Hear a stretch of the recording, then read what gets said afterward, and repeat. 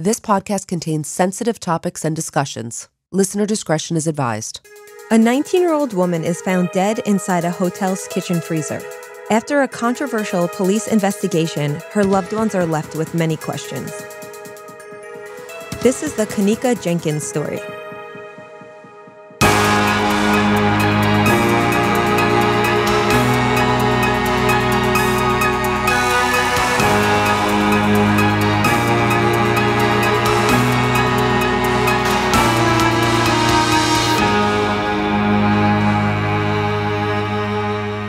Morning, Meghan. Good morning. Meghan, you know this case has been on my list since before we even started a podcast. I have been interested. I actually remember, I don't know if you remember, Meghan, but I remember watching the video with you Yes. in the office. This is way back in the day when we used to be in, on the same days. You recall? yes, but uh, seriously, this was probably like what? I don't know how long ago this case was, but we watched the video maybe five, six years ago. Yes. Well, this event happened almost seven years ago. Yeah. And I believe when we were talking about it, it was just new in the news. So, yeah, it, it was a long time ago, probably before we became such close best friends. And I remember when we first made and compared our list, this one was on your original list. So, Yep, it was it was number one. And if you recall, Meghan, the reason why I've been putting off covering it is because I thought there would be more answers as time went on. right. And there just simply hasn't been more answers. So I figured, you know, why not talk about it now? Yeah, let's see if we can come up with those answers. And as we go through this episode, I want you to think about, you know, was this an accident? Was there foul play? We would love to hear your thoughts on this one. But I want to point out that even if Kenneka's death was accidental, this case brings up many important issues that we have seen in past cases. Mm-hmm. So I think there's a lot to learn about these types of cases. Okay, I'm ready. I just want to give a special shout out to Alyssa for her help on the research for today's case. And this one was a pretty tough one to research because we are left with so many unknowns. Our story starts with Kenneka, a young woman who was born in Chicago on May 27, 1998. She lived in the district of Lawndale, which had a reputation of being a pretty dangerous neighborhood, high rates of poverty, and a high crime rate. And this would be in comparison to neighborhoods that it bordered. At the time of the events we're discussing, Kenneka was 19 years old, and she was described by all who knew her as happy, smart, and extremely responsible. In fact, Meghan, she was working two jobs and planning to go to nursing school. She had realized that she had a love for caring for people who were ill, and this was after her mother was diagnosed with breast cancer in 2017. And Kenneka would become her mother's full time caretaker, which of course is tough for anyone, but especially a teenager. Absolutely. I think this really showcases the kind of dedicated family girl that Kenneka was. But Kenneka was also a 19 year old on the cusp of adulthood, and as much as she cared for her mother, Kenneka also loved to go out and have a good time and hang out with her friends. And so was the case on the evening of September 8th, 2017.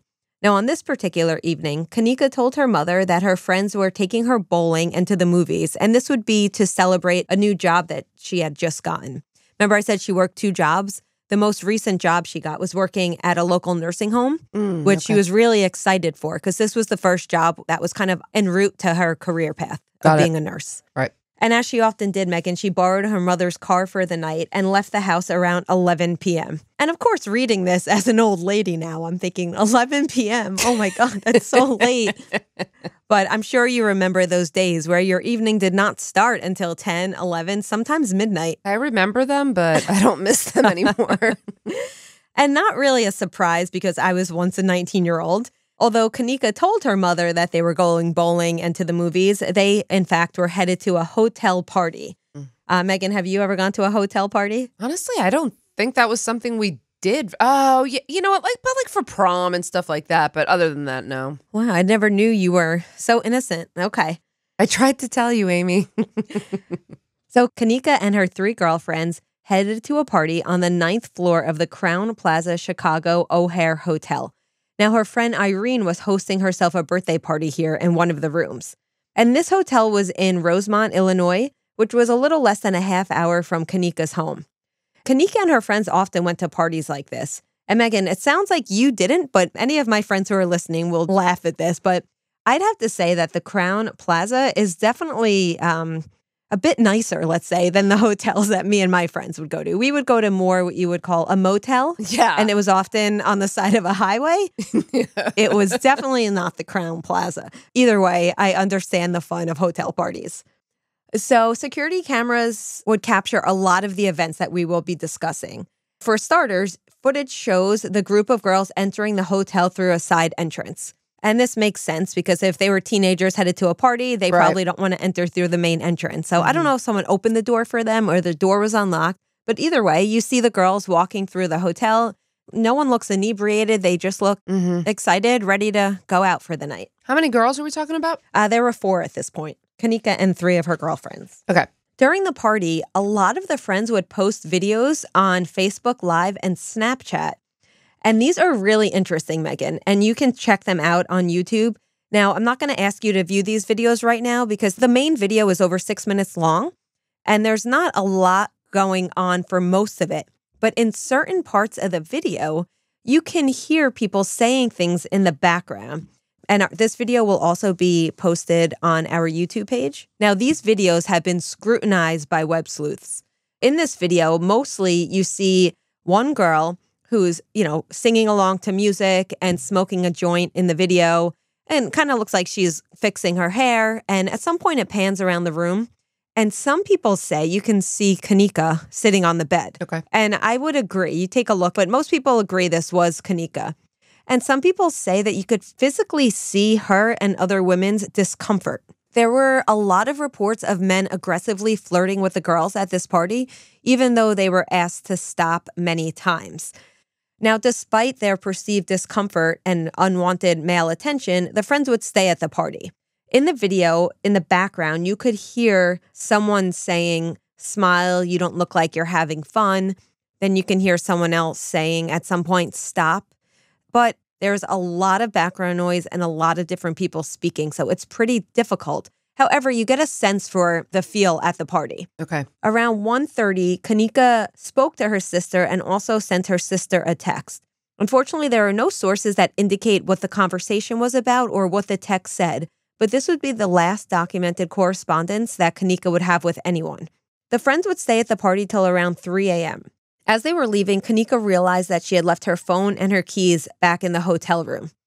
But Meghan, this is where things are not so clear because there are two variations of the story. In one scenario, Kenneka's friends leave her in the hallway on the ninth floor and they go back into the room to gather Kenneka's belongings. In the other version of the story, the group was already outside when Kenneka realized she forgot her items, and Kenneka herself headed back to go get her phone and her wallet. In either scenario, though, it is clear that Kenneka was by herself in the hotel, and several security cameras would capture her wandering the hallways alone. Meghan, as you could see in the video, Kenneka is clearly inebriated. She's walking into walls, she's stumbling over herself. I saw the video and it's very clear. She is extremely intoxicated. She was at that party at that point for what, about two and a half hours? Yep. I'd like to know if anyone reported what Kenneka drank, if they knew like what she was drinking, how much. Were there any reports of drug use? Did anyone even think someone slipped something in their drinks? Like all of this. Are you going to answer all these questions or? Yes, absolutely. Once Okay. we yeah, we'll we'll get there, I promise. Okay. About those videos though, so the clip that we're looking at is the clip that has been widely circulated. But I want to make clear that there's over 36 hours of video relevant to this case, and not all the video has been released. So the video that you saw shows Kenneka in a hallway. At some point, she almost goes over a stair railing. Right. You know, she like bumps into it. Yeah. And then she like kind of stumbles. At that next point, some say that it appears as though someone's pulling her. If you look on like that right side where she kind of goes off frame for a moment, then she kind of comes back. I saw that. Yeah. A lot of speculation in the video. And then we also see her stumbling around in a kitchen. I noticed that at the end. I was like, wow, she wandered into a kitchen too. Yes. From the footage, it seems very clear that she was probably not in the state to be left alone. Now, I'm not at all placing blame on any of her friends Right. because it's possible that they were equally inebriated and didn't realize, maybe they didn't think she was in danger, or maybe they figured, you know, what would happen in a couple of minutes when either we're going to get her wallet or she's going. Either way, as the friends are waiting, they say about a half an hour passed and Kenneka never returned. And you could see through other CCT footage that her friends were going through the hotel hallways looking for her.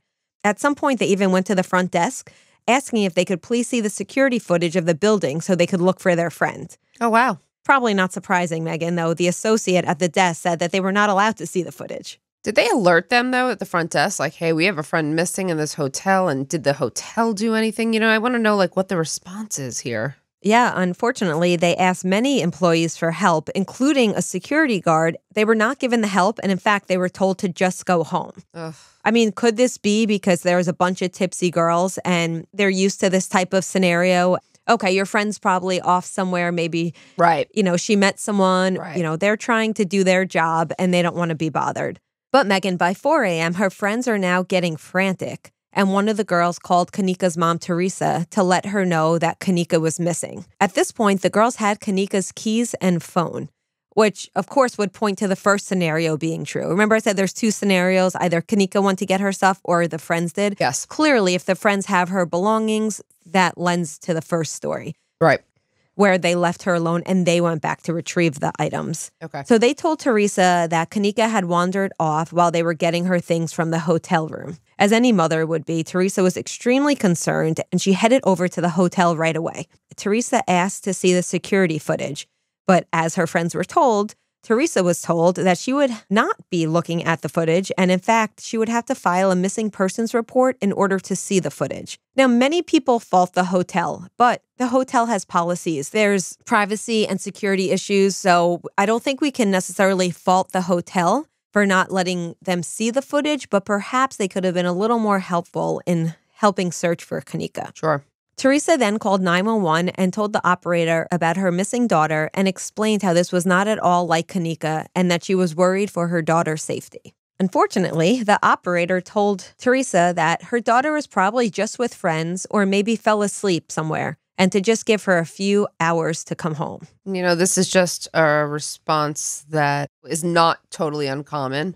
And most people get upset and blame the operator. And trust me, there are situations where I do too, but there are enough cases where this happens. And it is that instance that it's, you know, it's a difficult task to weigh the, you know, the reality of the situation versus how many of these situations occur. And when you have a missing person, time is of the essence. Every minute is important. So they're losing precious time here. Well, that's the conundrum there, right? It, it really is. Mm-hmm. So Teresa asked if she could file a missing persons report because, of course, she wanted to see those videos, but the hotel staff told her she couldn't without a report. Right.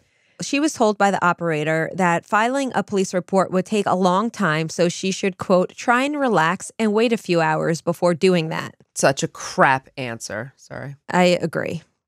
As we see in a lot of missing person cases, especially with young women, the severity of the situation is not taken seriously. And in a lot of cases, and as we'll see in this case, it leads to a tragic outcome. Right. And Teresa was incredibly frustrated, but she followed the operator's instructions and she just hung out in the hotel lobby, hoping to see if Kenneka would turn up. At some point, she walked around the hotel, actually knocking on hotel room doors, asking people if they have seen her daughter. Unfortunately, this prompted the hotel to call the police to report that Teresa was disturbing the guests. You'll be shocked to find out that the police did not get to the hotel until 1 p.m. on September 9th, and this was after Teresa called again trying to file a missing persons report. And at this point, Meghan, Kenneka had been missing for almost 10 hours. Oh, her mother must have been so completely frustrated. Frantic, frustrated. Yes, she definitely was because she knows her daughter, and this isn't like her daughter. Again, Kenneka was known as being a very responsible young woman. When the police arrived at the hotel, they performed a preliminary search and they didn't find anything. So at that point, they left the premises to look in other places where Kenneka may have run off to. I don't know if Teresa gave them names of, you know, close friends and they looked there or if they were just looking in the surrounding areas. But over the next 24 hours, while they were searching for Kenneka, the police were combing through the hotel's security footage because they were trying to piece together what happened. And while all of this was going on, the police received a phone call from one of the hotel's managers. Now, this call was placed around noon on September 10th, about 21 hours after Kenneka had gone missing. And the manager was placing this phone call to inform the police that he had found a dead body in the hotel's walk in freezer. Investigators quickly went to the scene where they would find a young woman lying on her side with her head propped against a right wall of a walk in freezer. Her arms and hands were curled under her chin. One of her shoes was off, and on the bare foot, there was a very large bloody scrape. Behind her body, they found a hair tie, and her hair was matted down to her head. Her shirt had ridden up her torso, and lying in front of the young woman's body was a container of lip gloss. This woman was ID'd as Kenneka Jenkins. As the manager showed police the discovery, some say that he didn't look very disturbed. And many people found his behavior alarming and suspicious. But Meghan, it's hard to judge a person based on the way they react to a traumatic situation. If I only had a dollar for every time we had to say that. I was going to say, here we go again. So let's focus on more solid evidence or actual evidence that's put in front of us. And Meghan, that will not be the only speculation in this case, as this case is riddled with conspiracy theories and finger pointing. Now that the police had a body, of course, they need to determine what happened and why and how Kenneka ended up in the freezer. Was this an accident or was foul play involved?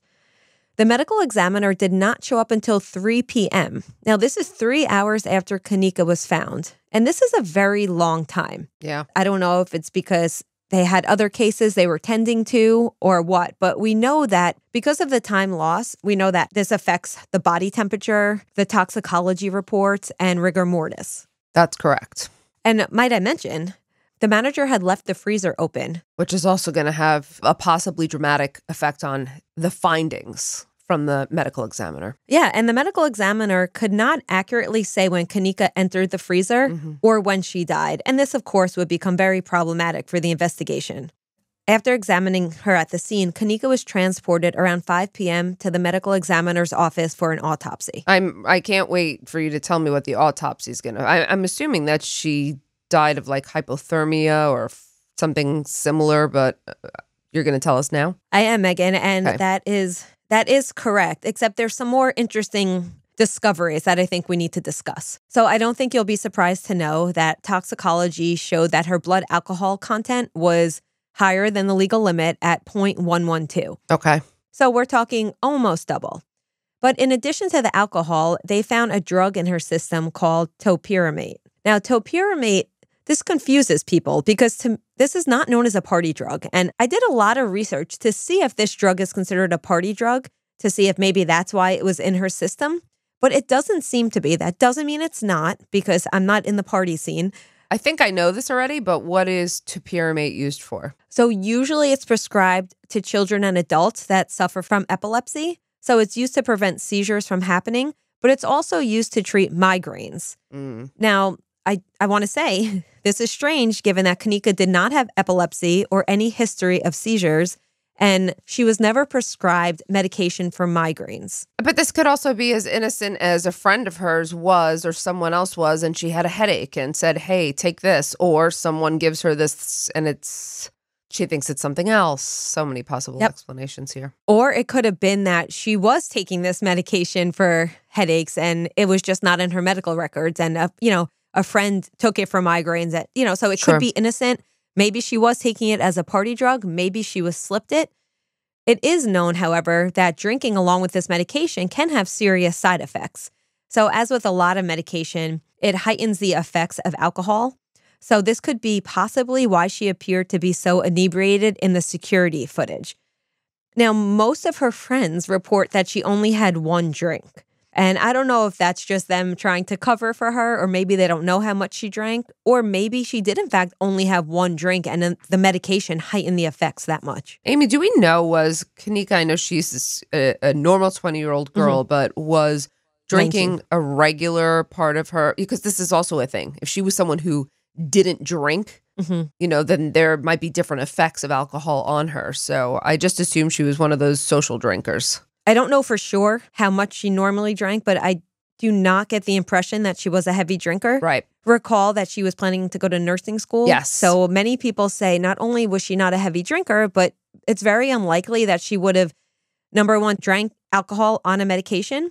Number two, taken a pill as a party drug. Yes. So a lot of people question this. Okay. Now, her friend Irene, and this is the friend whose birthday party it was, she stated that some people at the party occasionally took pills and they used party drugs, but all the witnesses who were interviewed said that Kenneka hated drugs and would not have taken anything. But again, could they be trying to protect themselves? So it's really hard to know. So this would lead many people to the theory that, you know, was Kenneka drugged?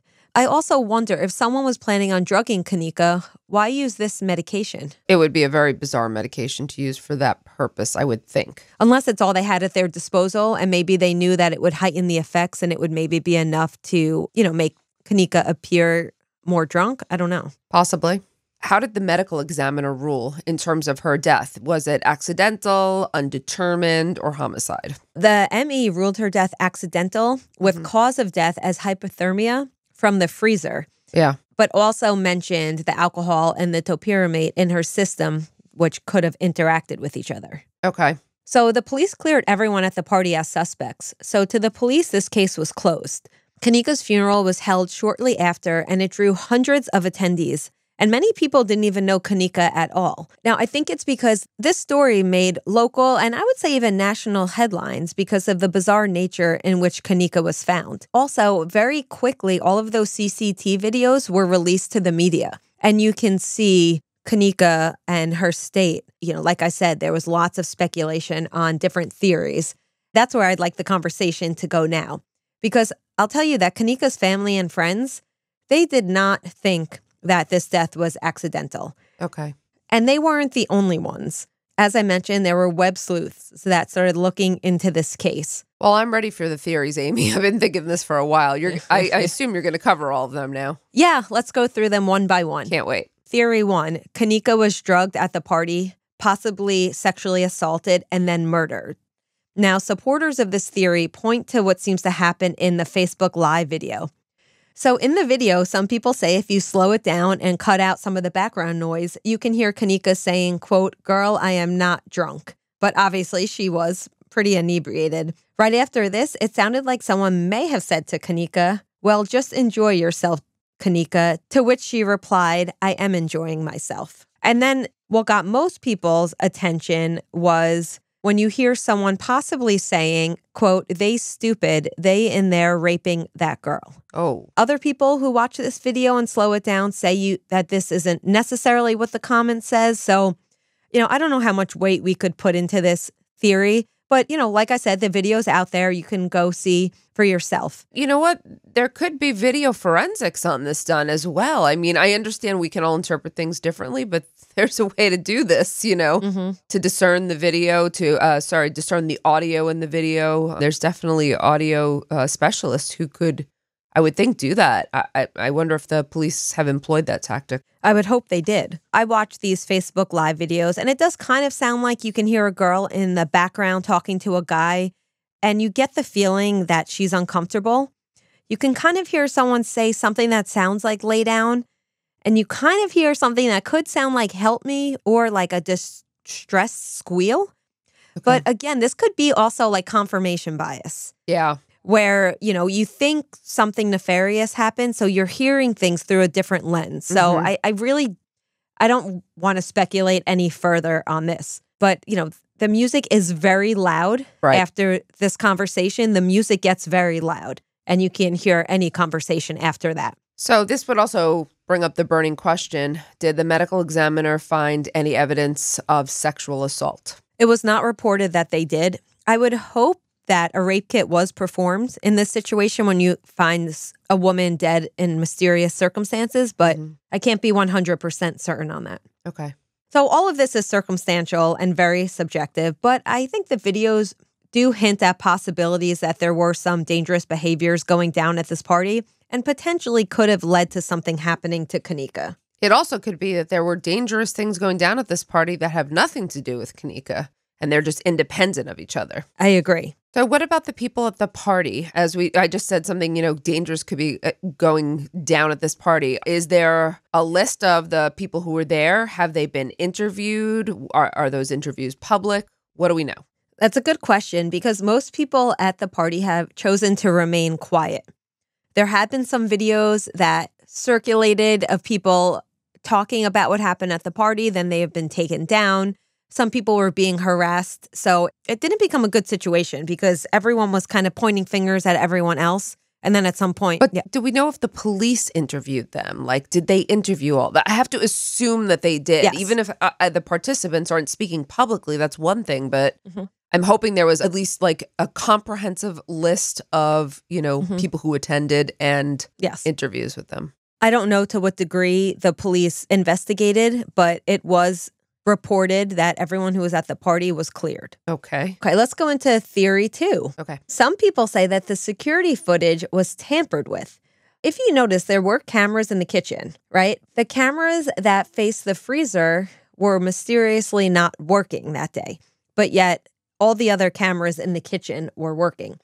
So the video that you saw, it does not show anyone going into the freezer. hmm The reason why this comes up is because Teresa was told that there were no cameras that pointed to the freezer. However, she says that when she was there, she said that she clearly saw cameras that faced the freezer. So she believed that someone was lying. And why would someone lie about this? That's interesting. Again, these web sleuths, if you look at the video, it almost looks as if there's like an invisible person holding up Kenneka. You know, at some point, like she like goes all the way back and then forward, or Oh. she stumbles. Like this, this seems a little outrageous. But some people speculate that there was someone else actually in the video with her, and someone doctored the video to take out someone. Now, if you watch these videos with that in mind, you can kind of see it. But again, well, again, now be- you just told me it's in my mind, so I probably will think that. But had you not, I wonder if I would have thought that. That seems like that would have to be someone pretty advanced in doctoring. Yeah. And I'm going to say that if this was a crime, it was not a premeditated one. And Mm-hmm. that would be some coincidence to have someone involved who could doctor a video to that extreme. So I'm going to say that's probably not the case. But if you remember all those years ago when we were watching the video in our office, the reason I was watching it is because I had read this conspiracy theory about, you know, Right. is there someone who is removed from this video? Right. And if you look at it through that lens, you can really see it, okay. right? But an expert analyzed the files that were sent to the police, saying that the files would not have been able to be downloaded and viewed if they had been tampered with. So the probability of the footage having been deleted or edited is pretty low. Okay. But the reason I bring it up is because it is one of the prevailing theories out there. Mhm. Okay, theory three Kenneka was dragged into the freezer and murdered. I'm sorry, in the Yeah. freezer? Yes. I don't know about that. Yeah. Well, let's hear why. Okay. Yeah, let's hear the circumstantial evidence that goes along with this. Okay. So, recall one of her shoes was off when they found her. Mm-hmm. And some say that this would happen by someone dragging her into the freezer. Now, the freezer door was very heavy, so people wondered if she would be able to open it herself. Mm-hmm. especially in the state she was in. Would she have the coordination and the strength to open the freezer?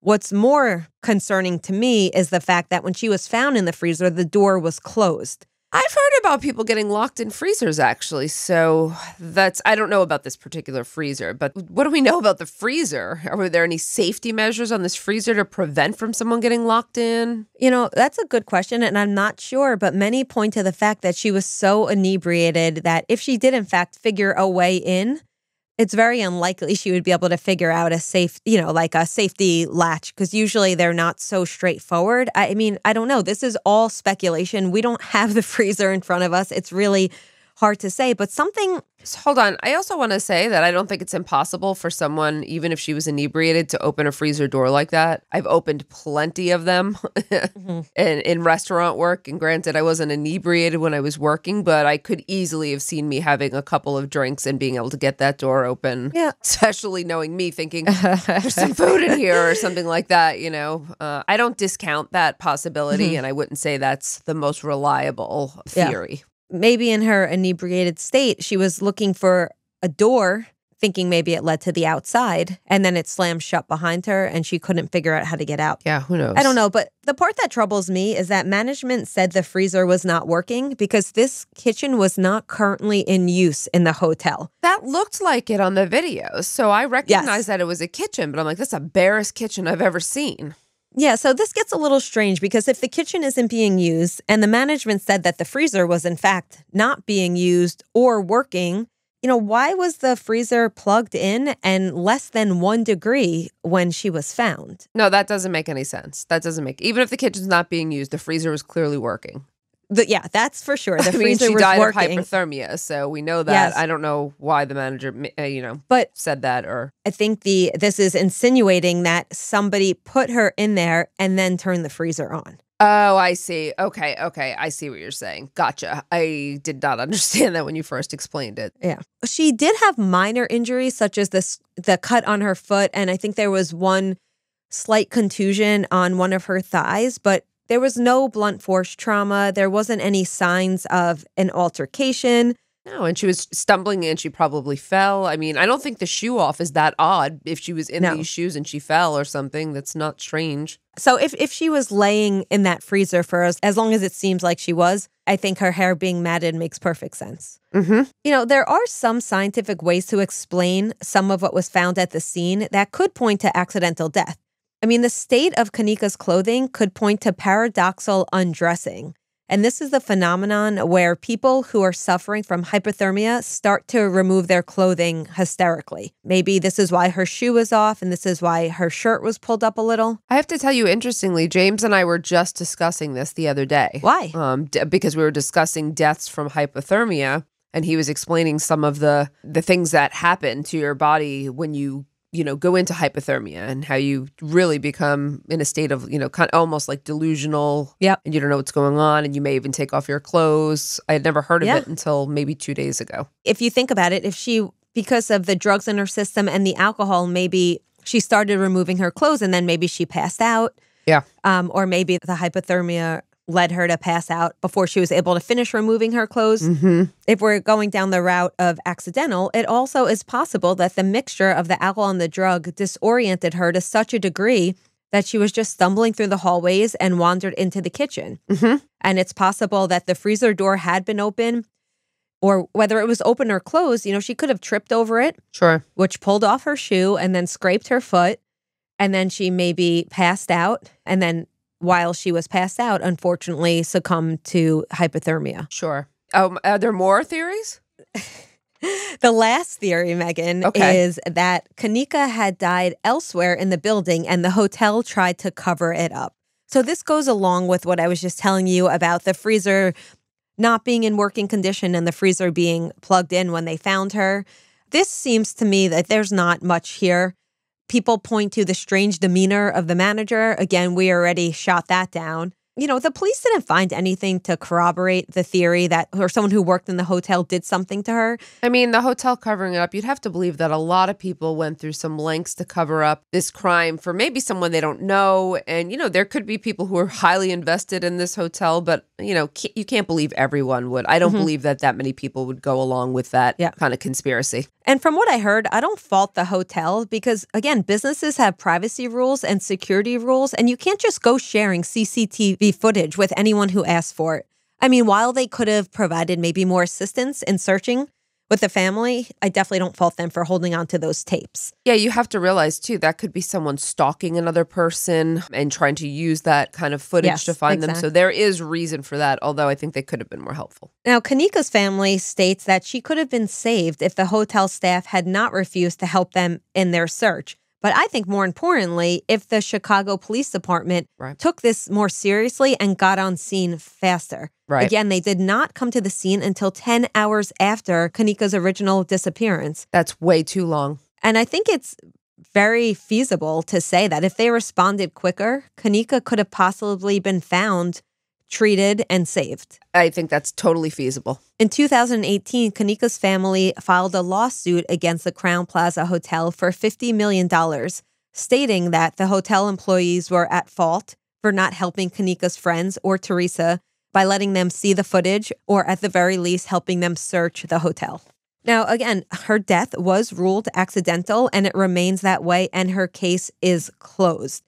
There was a petition on change.org to get it reopened in 2019, but nothing came of that. Mhm. And also, that civil suit is still pending. I'd like to think they'd reopen it and the medical examiner would be open to changing the finding if new evidence surfaced. But there are a lot of avenues to be pursued and there could be a lot of, you know, possibilities ruled out, I think, through a thorough investigation here. Yeah, and I think the biggest issue again is the police response, Yeah. and we can't ignore the fact that Rosemont, where the hotel was, Mhm. their black population is only 3%, which of course would lead many people to believe that racism could have played a part in how investigators handled Kenneka's case and the way in which the police did not take the friends and families' calls for help seriously. Right. And we don't know if race played a part. We don't know if the response would have been any different if Kenneka was not a minority. But I think it's important to recognize that because this is not the first and certainly not the last. Unfortunately, this is probably not going to be the last case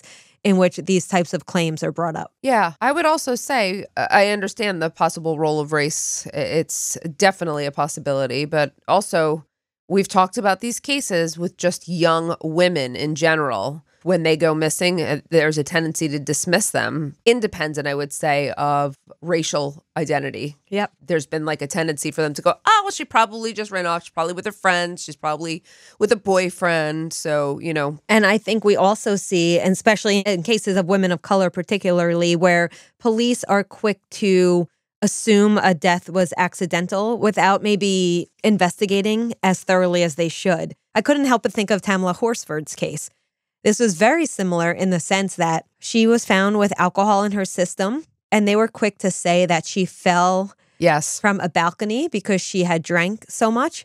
But if you look closer into the case, it seems as though the investigation, there were a lot of issues with the investigation in that case. And there's a lot of parallels here. Sure. And then, of course, this case is also similar to Phoebe Lavina's Ellen's, Sure. where you have a case of a woman who, whether or not the death was accidental, was it murder, was it death by suicide, it's not entirely clear. And it's because of the way the case was investigated or not investigated correctly. Yeah, I agree with that. Absolutely. So, Meghan, you know, did the system get it right here? I'm not sure. Do you have an opinion here? Well, it's too soon to tell. Did the system work right? So we usually do like the end, like did the system get it right? Um, actually, that that's not entirely true, but we're talking about there's different steps of the system. So you know the processing, the examination, the investigation. So you're talking about you know beginning with the police and the response. So I'd say the response, no, wasn't wasn't entirely correct at all. And I hope that maybe, uh, you know, this is one of those cases where I hope there's so much more going on behind the scenes that we don't know about and that the police are just keeping quiet on it, but that they are doing, you know, the best that they can. I know it was ruled an accident, but because of such questionable circumstances, I really hope they haven't dismissed this one and just, you know, cast cast it off completely because I do think there are unanswered questions here. And I agree. And if the if Kenneka's death was in fact accidental, I think Kenneka's family at least deserves to know that all other avenues were pursued and they need to know that this was unfortunate and maybe also, you know, we can learn from this. How can this be prevented in the future? Sure. How can this be prevented in the future? How can it be solved quicker? How Mhm. do we give the families that comfort? How do we balance, you know, the needs of, you know, law enforcement as well with the needs of the family and the needs of general society? You were right in that this case may not be solved. It may even be an accident, and I think that's entirely possible, but there's so many other lessons to be learned from this case in itself that I'm really glad you covered it. And if we hear about any case updates, we will be sure to share it with our listeners. Absolutely. I'll be I'll be looking at this one myself now, Amy. You've brought yet another curious case to us. Thank you for that. All right. Well, thank you all so much for listening today, and we'll catch you next time on Women in Crime. Women in Crime is written and hosted by Meghan Sacks and Amy Shlosberg. Our producer is James Varga, edited by Jose Alfonzo. Music composition is by Dessert Media. If you enjoy the show, please remember to subscribe and leave a review. You can also support the show through Patreon, where you can get access to additional ad-free content such as virtual happy hours and an extra full-length episode each month. For more information, visit patreon.com slash women in crime.